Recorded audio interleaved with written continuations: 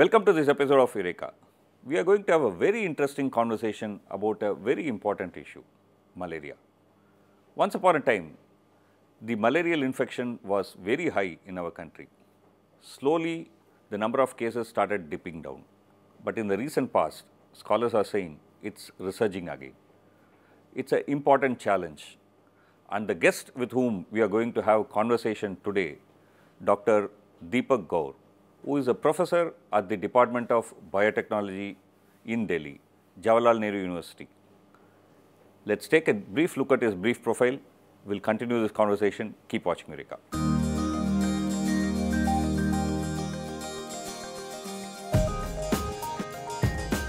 Malaria infects an estimated 214 million people and causes approximately 0.5 million deaths globally. And there are scientists who are burning their midnight oil to find out the solution for such a severe disease. Dr. Deepak Gaur is one of them, a molecular and cell biologist by profession who focuses on studying the molecular mechanisms that mediate the entry of malaria parasites in red blood cells and cause the dreaded disease in humans.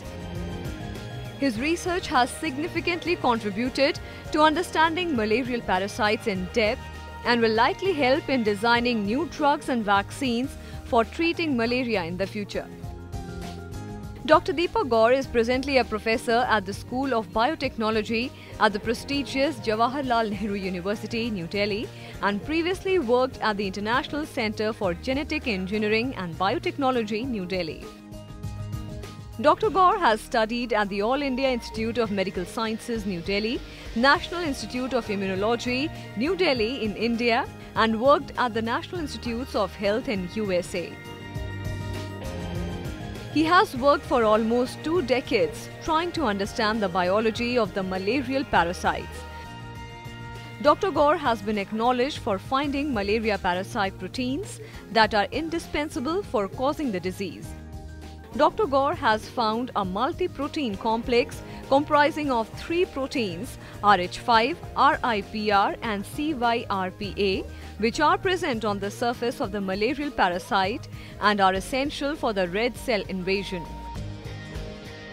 He and his team have shown for the first time that this protein complex can be employed as a target for making vaccines and drugs against malaria. Dr. Gore has published papers in reputed journals and bestowed with many prestigious awards. Noted among them is Shanti Swarup Bhatnagar Prize in 2017.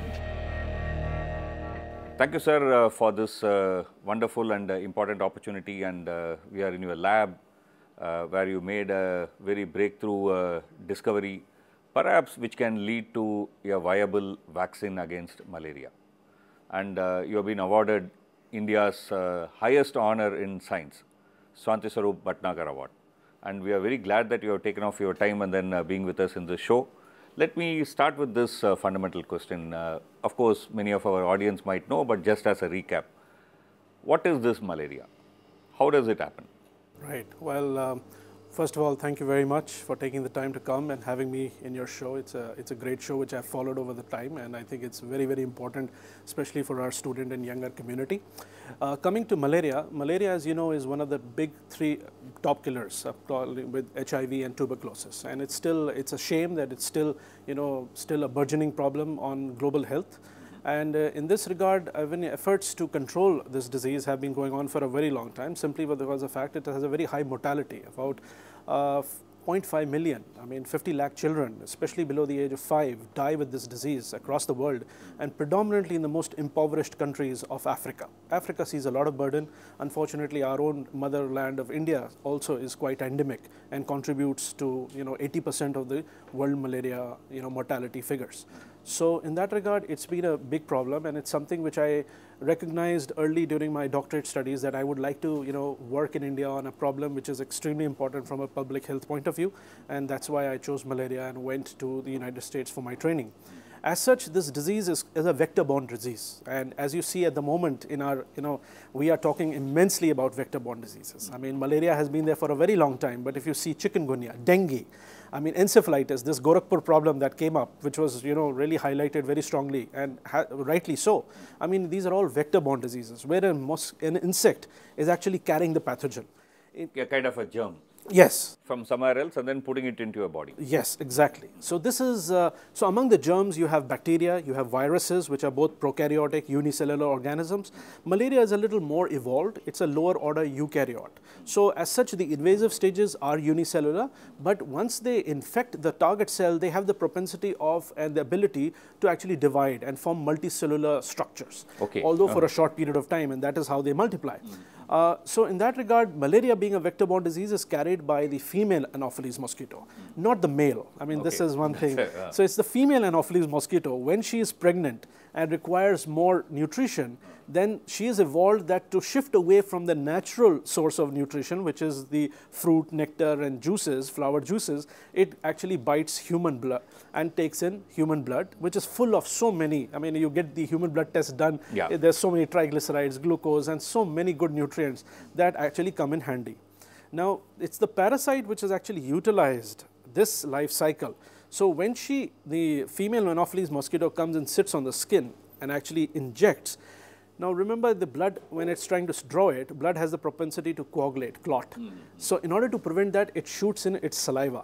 Yeah. Now it's the parasite which has evolved these mechanisms. It's sitting in the salivary glands and along with the saliva goes inside our uh, body. Uh, uh, so that is where malaria starts.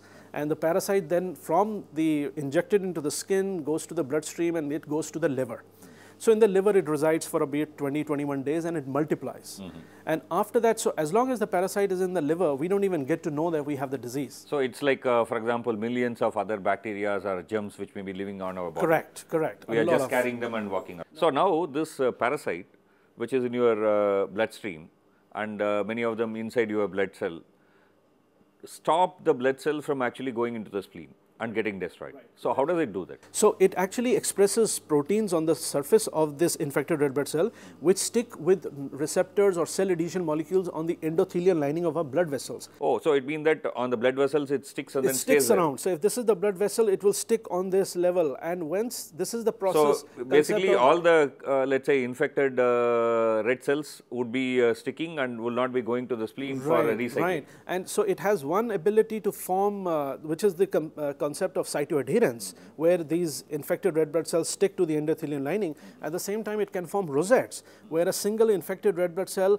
can bind to a number of uninfected red blood cells, okay. forming ball-like structures, uh -huh. which are, so all these things, what they're doing is that they're impeding blood flow and they're ah. obstructing capillaries as well as blood vessels. And when this happens in our brain, that, and this is very predominant in falciparum malaria, that is what causes death, coma, I mean the whole uh, symptoms of cerebral malaria. Hmm. So that is what actually causes death. That's a, that's a very interesting point. This is the right time to take a small break. After the break, we are going to discuss once we have understood how this mechanism of malaria works, how do we find a vaccine? We will take it up after the break. Keep watching Eureka. We will take a very short break.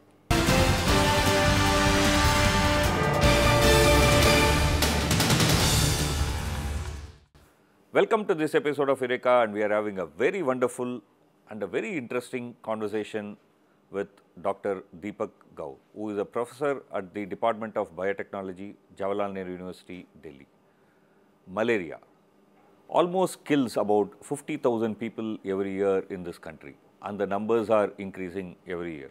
There has been a way in which people have been trying to control this malaria which is by public uh, health.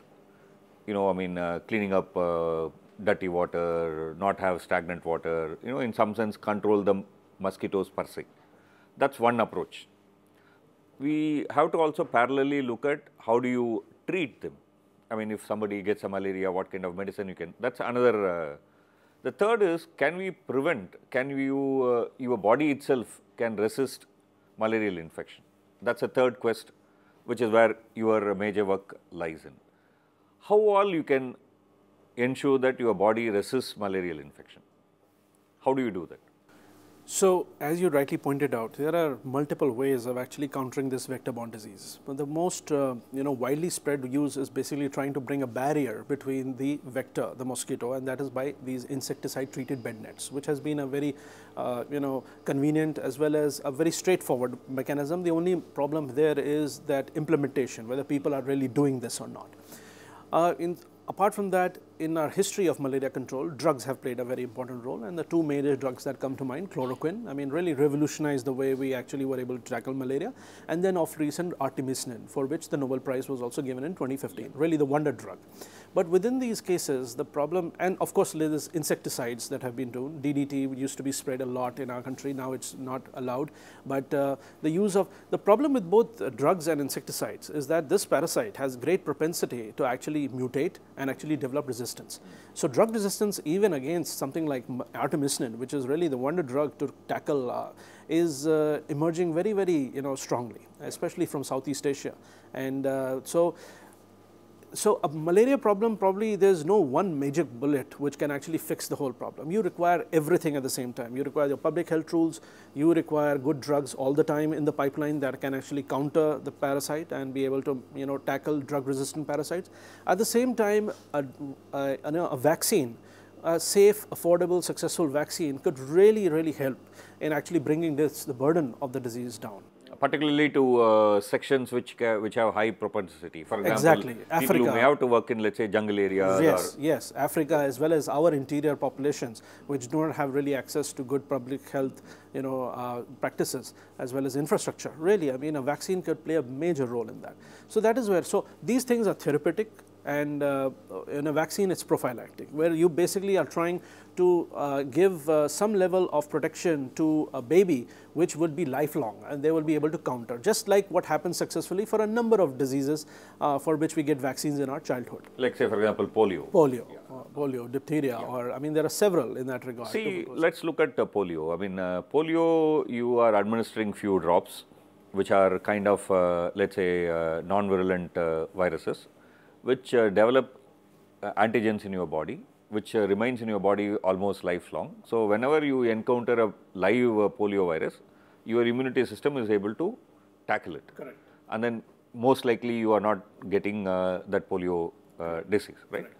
Now, with respect to uh, malarial parasite, it's not a parasite that you are encountering just like that. I mean, it's uh, coming into your body by a mosquito bite, and then as long as it's in your uh, different parts of the body, it does nothing, almost sits there idly. But the moment it enters into your bloodstream, that is where it's creating havoc. So, how do you tackle this? What kind of vaccines would work in this kind of situation? Okay. So, one very fundamental difference between parasites, I mean, just to put the record straight, there is no vaccine that has been developed against any parasite. Yeah. So the reason is that parasites have a complexity where they take different, you know, they shapes, sizes, uh, they have different uh, stages uh, where different sets of proteins are expressed, unlike bacteria or viruses, which are very stable units that are basically, you know, uh, never change really. There's not much change that happens as such as the independent unit is concerned, the invasive unit. So in case, as I told you for malaria, I mean, the stage that is infected, uh, that infects the liver, the, which is injected by the mosquito is the sporozoite, which expresses uh, a set of proteins and you know building blocks on its surface, has a different shape, structure completely. The stage that infects the human red blood cells is completely different there. So really there is, you know, when you want to uh, make, uh, uh, now in case of polio, it's a whole organism approach. The complete virus has been taken, it has been weakened and it's a live, it's a, it's a live virus. So basically that's why, uh, which is taken up by the oral route and it induces mucosal immunity and protection as you rightly said. Now in case of parasites, that has extremely been very difficult to do because as I said, extracellularly these are not stable units. It's something like for example a butterfly. I mean once it is a worm and then later it becomes a butterfly, the Correct. structures are completely different. Yes, yes, absolutely. The way you can deal is also very, very Yes, different. so over the period of last four decades where research has been you know focused on malaria vaccine development, the whole organism approach really could not be taken up in a robust manner. Now technology has come to a level where one company, Scenaria, is actually developing a whole organism sporozoite. So they are were actually isolating these from the salivary glands of sterile mosquitoes Okay. in a very, very well uh, controlled con- uh, in laboratories and doing these trials. So that is a big revolutionary step in malaria vaccine development. But in malaria vaccine, the major uh, focus has been to make recombinant subunit vaccines. So in that, if there is a particular component or molecule that has been identified of the parasite that we are knows is important for either entering into the target cell, that could be produced in a manner that it induces, you know, strong immunity that could be protective. Now, in this case, the most advanced uh, vaccine is a vaccine known as RTSS. And it is a liver stage vaccine, which is being developed by a company GlaxoSmithKline and uh, based in Belgium. It's a global multinational. And the genesis of the project actually started in the United States, where the Walter Reed Army Institute of Research actually conceived and actually built upon the proof of principle and then collaborated. And this was heavily funded by the Bill and Melinda Gates Foundation. So it started off in 1984 and in 2014 they completed the phase 3 clinical trial so just look at 30 years of intense research number of human clinical trials they did and the result finally is that its maximal efficacy is 50% 50%. 50%. One in two, perhaps. one and would two would get protected. Now, frankly, that is not probably good enough from a public health mass immunization point of view. But if you look at Africa per se, where you are having 50 lakh children you know, dying, the question is uh, WHO still is taking a positive recommendation on this and is saying that now you've done a trial, now you please go ahead and do some pilot implementation studies where we want to see it's a four dose vaccine.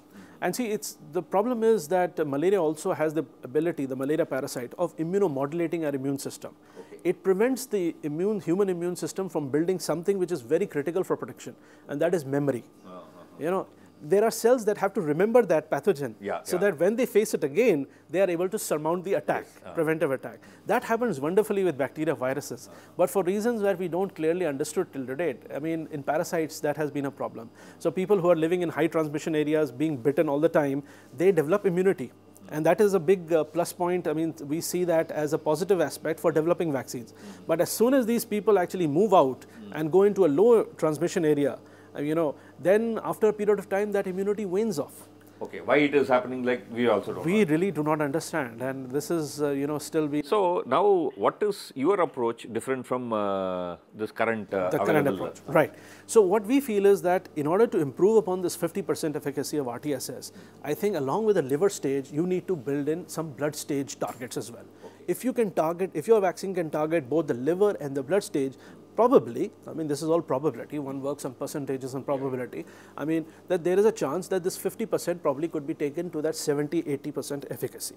And in that regard, blood identifying crucial blood stage targets is been also a very attractive proposition and something which has been a very hot topic in the malaria vaccine sphere. So, what kind of efforts took place in this area? I mean, of identifying targets on the blood uh, blood cells which so, can. Uh, a number of laboratories globally, I mean, uh, have been actually focused on actually developing blood stage targets, including laboratories here in India. In this regard, ICGB, where I used to work pri- prior to joining JNU, was taking a major lead, and probably was the flagship program of the institute. One of the flagship programs was the malaria vaccine development program.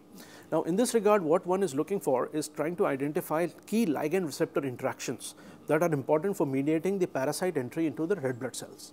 Now, just to put this in perspective for our viewers, there are 5,000 genes in malaria. Uh-huh. One third are expressed in the liver stage, one third are expressed in the blood stage, and one third are expressed in the insect stage. Now, that still leaves you with almost like, uh, you know, 2100 or 7, 18 to 1800 to 2000 genes. And that's a very big number.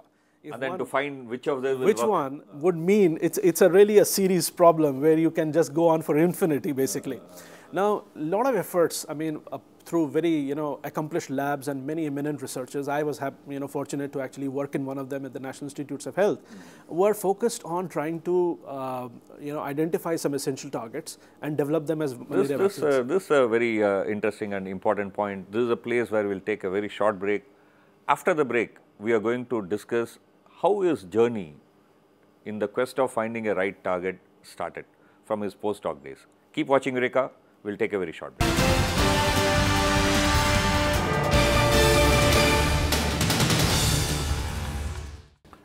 Welcome back to Eureka, and we are having this wonderful conversation with Professor Deepak Gaur, who is uh, with the Department of Biotechnology in Jawaharlal Nehru University in Delhi and he has done a very wonderful work which can potentially give a vaccine for malaria.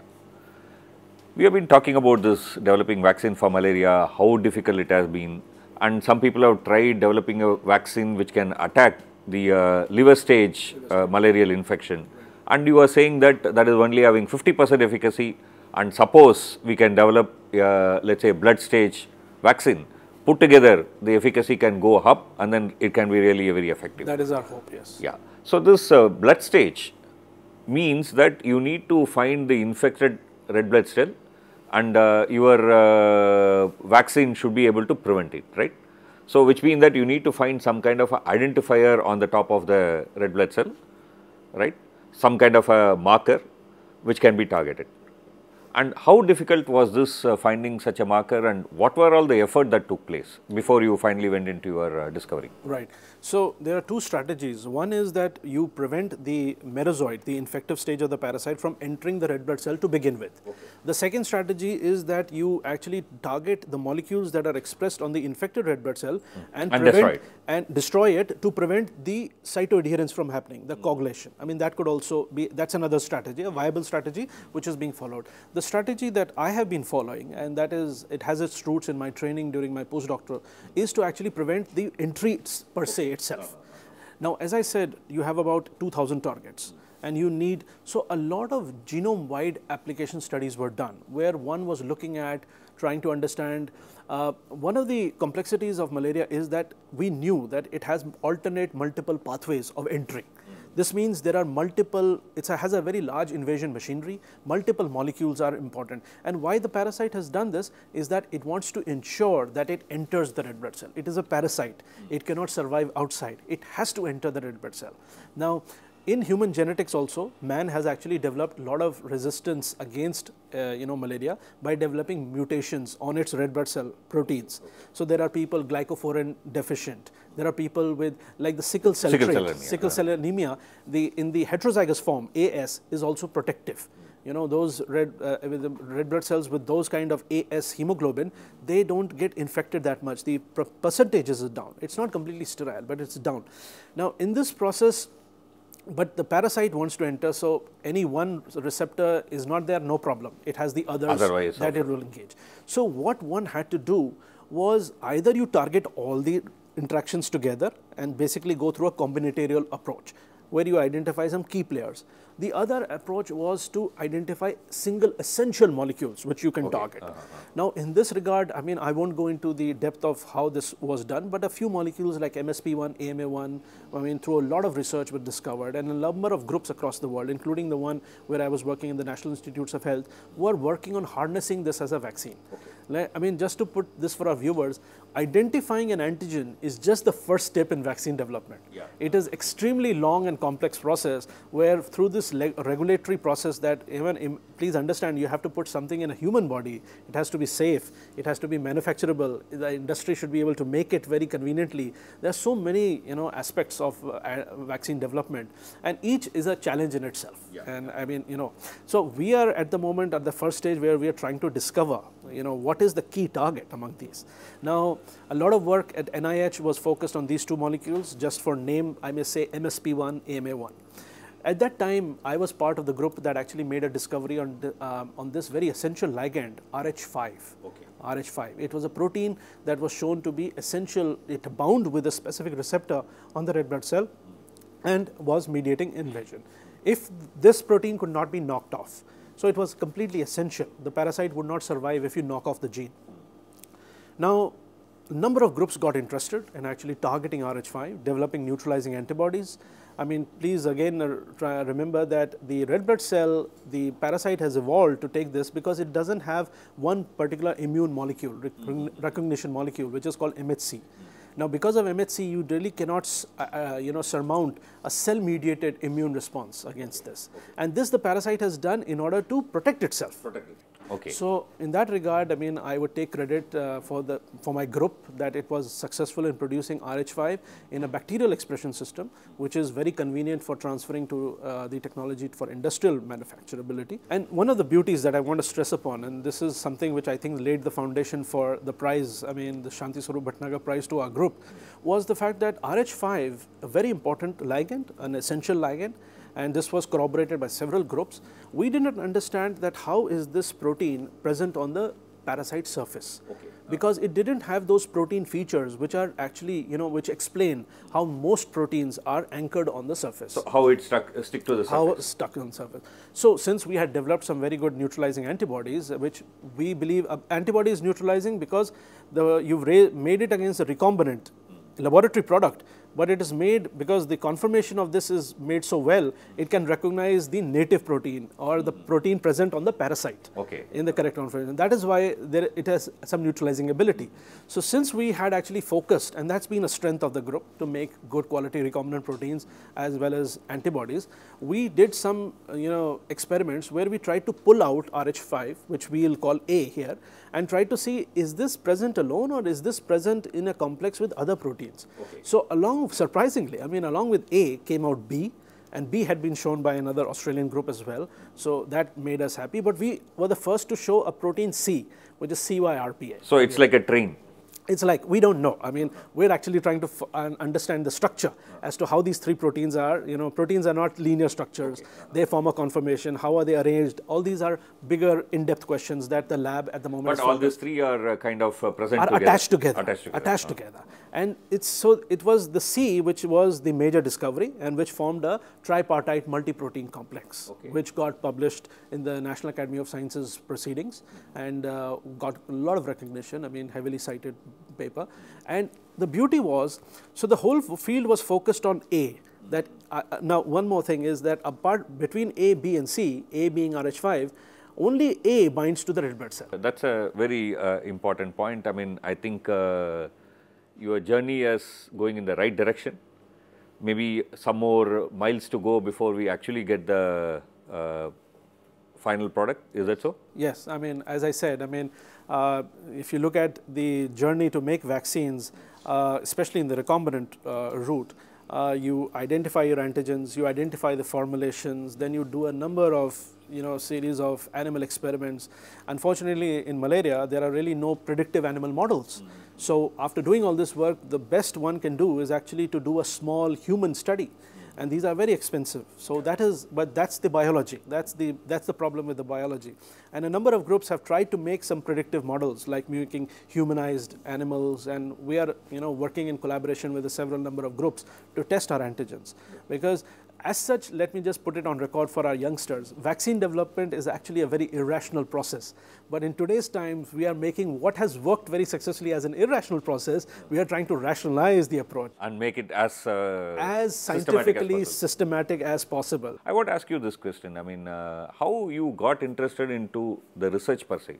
That's not usually what people would choose as their uh, careers. When people are looking at, you know, when they are trying to find out what I should do, they think of various ideas, but very little people actually uh, look up uh, research as a career. You know, it's been a very humbling experience, and it's I've had the great benefit of some wonderful teachers, mentors across all institutions, presently here in JNU as well as prior to uh, my previous institution ICJB. Some uh, great friends, colleagues, and wonderful students, and uh, and great family support. I must say, really wish to thank. I mean, I think the importance of family, especially my wife, and uh, you know, in order to succeed, for one to succeed, you don't succeed alone. You succeed with so many inputs from so many people, and I'm really very blessed and really wish to thank uh, everybody in that regard, my students, uh, family, teachers again, and I think this is a very important foundation for anybody to see any taste of. There's a little bit of success. We really have a long journey to go, and as I said, it's a beginning, but we are very, very uh, you know excited and moving ahead with full vigor.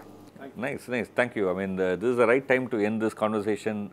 Thank you, and uh, we'll end this conversation here. Keep watching Eureka. We will come back with a interesting conversation next week.